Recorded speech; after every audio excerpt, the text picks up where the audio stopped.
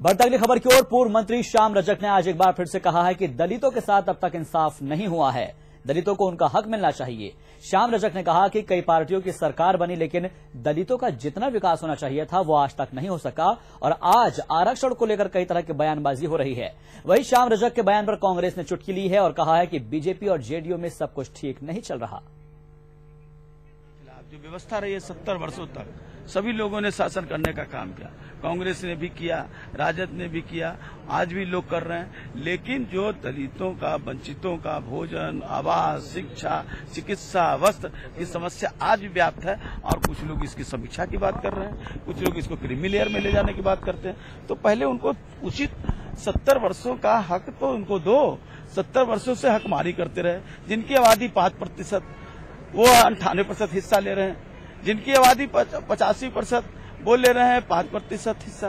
तो ये है। कांग्रेस पार्टी ने बिहार के पूर्व स्पीकर उदय नारायण चौधरी और जदयू के राष्ट्रीय महासचिव श्याम रजक के उस बयान को देखा है, जिसमें उन लोगों ने केंद्र सरकार के ऊपर गंभीर आरोप लगाए हैं दलित उत्पीड़न को लेकर और दलितों के उत्थान से संबंधित कार्यक्रमों में कटौती को लेकर। यह अपने आप में एक एक बड़ा प्रश्न है और कांग्रेस स्थिति स्पष्ट करना चाहती है जेडीयू से कि जेडीयू बताए कि एक तरफ़ वो बीजेपी के साथ मिलकर सरकार बना रहे वो एनडीए का हिस्सा है। दूसरी तरफ़ जेडीयू के बड़े नेता केंद्र सरकार पर आरोप लगा रहे हैं कि दलितों की उपेक्षा बड़े पैमाने पर हुई है, उनकी शिक्षा में उपेक्षा हुई है, उनके रोज़गार में उपेक्षा हुई है। ये ऐसे प्रश्न हैं जो एक सवाल खड़ा करते हैं, क्या जेडीयू और बीजेपी में सब कुछ ठीक ठाक है या कहीं न कहीं जेडीयू, बीजेपी से नाराज़ है?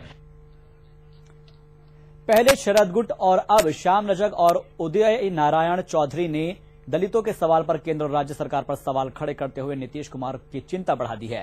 श्याम रजक और उदय नारायण चौधरी के बयानों पर पलटवार करते हुए जेडीयू प्रवक्ता नीरज कुमार ने कहा है कि सामाजिक समूहों के सवालों को उठाने का सबको अधिकार है, लेकिन उसके लिए पार्टी फोरम है। पार्टी का प्रदेश नेतृत्व सब कुछ देख रहा है। फोरम में नहीं उठा करके पब्लिक डोमेन में उठाना इस सवाल को वो तो उस, उस संदर्भ में पार्टी का प्रदेश नेतृत्व जो होगा संगठन का वही जिम्मेवार होगा। अपने सामाजिक समूह के संदर्भ में जो उन्होंने उठाया उनको अधिकार ये अधिकार है। लेकिन उन सवालों का अगर पार्टी में उठाते तो बेहतर परिणाम होता। और इसी बीच जेडीयू प्रदेश अध्यक्ष वशिष्ठ नारायण सिंह का बड़ा बयान सामने आया है। श्याम रजक और उदय नारायण चौधरी को लगता है कि किसी पद की लालसा थी। और वो पूरी नहीं हुई है और इसी वजह से वो इस तरह की बातें कर रहे हैं। ये बयान दिया है और साथ ही कहा है कि पार्टी इस बयान के तहत तक जाएगी और उसके बाद इस मामले पर फैसला करेगी। दरअसल आपको बता दें कि उदय नारायण चौधरी और श्याम रजक ने दलित के विकास के बहाने राज्य सरकार और केंद्र सरकार को घेरा था और उसी के चलते ये बड़ा बयान आया है। जेडीयू प्रदेश अध्यक्ष का और दोनों के बयानों के बाद वशिष्ठ नारायण सिंह ने अपनी प्रतिक्रिया दी है इस बयान के माध्यम से और कहा है कि पार्टी इनके बयानों की तहकीकात करेगी और तह तक जाएगी कि आखिर किस परिप्रेक्ष्य में ये बयान दिए गए हैं।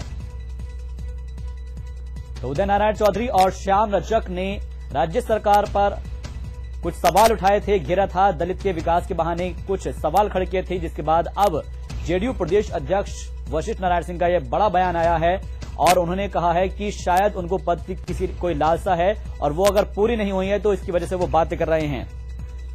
और संवाददाता आनंद अमृतराज हमारे साथ इस खबर पर ज़्यादा जानकारी के साथ पटना से जुड़ गए हैं। आनंद, अगर कोई शख्स कोई बात उठा रहा है तो क्या उसकी वो पद की लालसा है? क्योंकि बयान तो कुछ यही कह रहा है, वशिष्ठ नारायण सिंह का। देखिए सहबाज निश्चित तौर पे पार्टी ने इस बयान को गंभीरता से लिया। पार्टी के प्रदेश अध्यक्ष वशिष्ठ नारायण सिंह, उनसे जब कुछ दिन पहले हमारी बातचीत हो रही थी और उन्होंने साफ़ साफ़ कहा कि उनसे इस बयान के बारे में पूछा गया और बोला गया कि पार्टी के दो बड़े नेता एक राष्ट्रीय महासचिव और एक पूर्व प्रदेश मौके जगह बिहार विधानसभा के अध्यक्ष रह चुके हैं जेडीयू के हाँ। वरिष्ठ नेता हैं। उन्होंने पार्टी फोरम पर यह सवाल उठाकर जिस तरीके से दलित के विकास को लेकर एक तरीके से राज्य सरकार और केंद्र सरकार से हमला बोला उस बयान का मतलब क्या निकाला जाए? उस पर उन्होंने काफ़ी तीखी प्रतिक्रिया दी और उन्होंने जो बयान दिया सबसे महत्वपूर्ण पार्ट उसका ये है शाहबाज। उन्होंने साफ़ साफ़ कहा कि शायद उन्हें कोई पद लालसा होगी और वो लालसा पूरी नहीं हुई इस वजह से उन्होंने इस तरह का बयान दिया। लेकिन पार्टी इस बयान को गंभीरता से देख रही है हाँ। और आने वाले समय में इस पर पार्टी विचार करेगी कि इस बयान को किस रूप में लिया जाए। हाँ लेकिन जो जेडीयू का प्रवक्ता है वो ये कह रहे हैं कि अगर कोई सी बात उठानी थी तो पार्टी फोरम में उठानी चाहिए थी इसको पब्लिक डोमेन में लाने की क्या ज़रूरत थी? बिल्कुल बिल्कुल यही प्रदेश अध्यक्ष का भी कहना था कि जब पार्टी के दो वरिष्ठ नेता हैं उन्हें मालूम है कि किस बयान का अर्थ क्या निकाला जा सकता है। और अगर आपको इतना ही इस बात को लेकर चिंता थी और उन्होंने ये भी कहा कि दलितों के विकास के लिए महादलित विकास मिशन से लेकर नए जाए कितनी सारी ऐसी योजना बनाई गई है दलितों के लिए नीतीश कुमार ने किया है। हाँ। यानी कि प्रदेश अध्यक्ष का ये कहना था कि उन्होंने दलितों के लिए काफ़ी कुछ किया और जो सवाल उठाए गए वो गलत है। और सबसे बड़ी बात है उन्होंने साफ़ साफ़ कहा कि इस बारे इस बारे में पार्टी फोरम में अपनी बात उन्होंने क्यों नहीं रखी? ये बहुत बड़ा सवाल है और इस सवाल को पार्टी गंभीरता से ले रही है। बिल्कुल लेकिन विपक्ष तो इसके ऊपर हमलावर होता नज़र आ रहा है। विपक्ष ने कह दिया कि भाई जेडीयू और बीजेपी के बीच कुछ भी ठीक नहीं चल रहा फिर। देखिए विपक्ष को मौका मिलेगा। अगर किसी पार्टी के दो बड़े नेता अगर इस तरह का बयान देते हैं और महादलित विकास मिशन को जब नीतीश कुमार ने बनाया था उस समय भी उन पर विपक्ष ने हमला किया था कि वो दलितों को छोड़ने की कोशिश कर रहे हैं। लेकिन महादलित विकास मिशन बना के नीतीश कुमार ने महादलितों को कई सारे ऐसे हक दिए थे और वशिष्ठ नारायण सिंह जो प्रदेश अध्यक्ष है उन्होंने साफ़ साफ़ कहा कि दलितों के विकास के लिए जितनी काम नीतीश कुमार ने किया उतना आज तक किसी ने नहीं किया। हाँ। उस पर अगर सवाल उठाया जाएगा और अभी पार्टी के दो बड़े नेताओं की तरफ़ से ये गंभीर मामला है और पार्टी फोरम पे ये बात क्यों नहीं उठाएगा और आंदोलन किस हैसियत से वो कर रहे हैं ये भी उन्होंने पूछा है।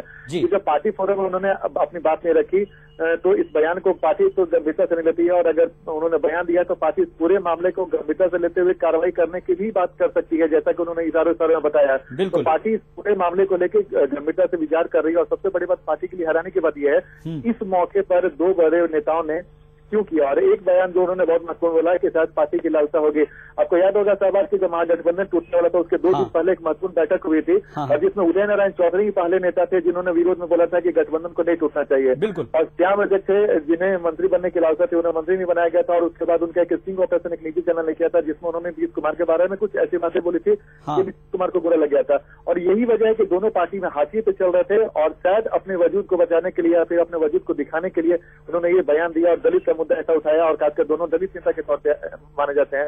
तो शायद उन्होंने ऐसे मुद्दे को उठाया जिससे पार्टी में उनके खिलाफ कोई कार्रवाई न कर सके। लेकिन पार्टी पूरे मामले को लेकर काफ़ी गंभीर है और इस पूरे मामले को गंभीरता से विचार कर रही है और एक एक बिंदु पर निगाह रखे हुए हैं। बहुत शुक्रिया हमसे बातचीत के लिए और तमाम जानकारी मुहैया कराने के लिए। तो अब ये देखना है होगा कि पार्टी क्या कुछ कार्रवाई करेगी